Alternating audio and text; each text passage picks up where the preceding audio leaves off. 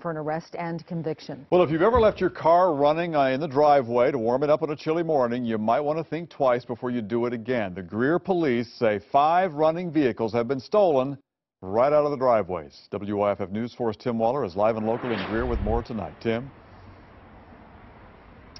This is something a lot of people are guilty of, Michael, figuring their vehicles are going to be safe in the driveway for a few minutes. But those five people in Greer who had their cars stolen, told police it happened just like that. It happened again this week at this Greer apartment complex at 7.05 in the morning.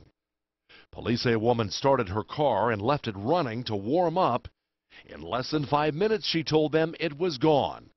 A blue 2002 Jeep Liberty like this one, stolen, and hers isn't the first. We know of five that are related, or we believe that they're related by the similar circumstances.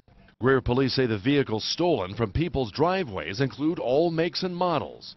And they say it's happened in all parts of town, not just one area, but five different neighborhoods.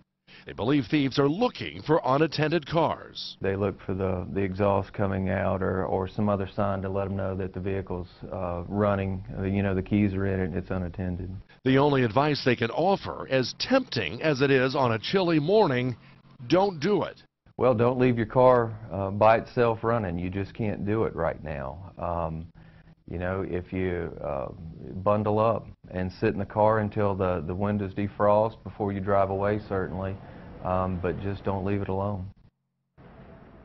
Some people have asked about this. It is against the law in the city of Greer to leave your car running unattended. There is a city ordinance against that, and technically speaking, police could issue a ticket if they caught you. Of course, the bigger danger here are thieves that sneak up on your driveway and take off with your vehicle, as it's happened here. Tim Waller, WYFF News 4, live in Greer tonight.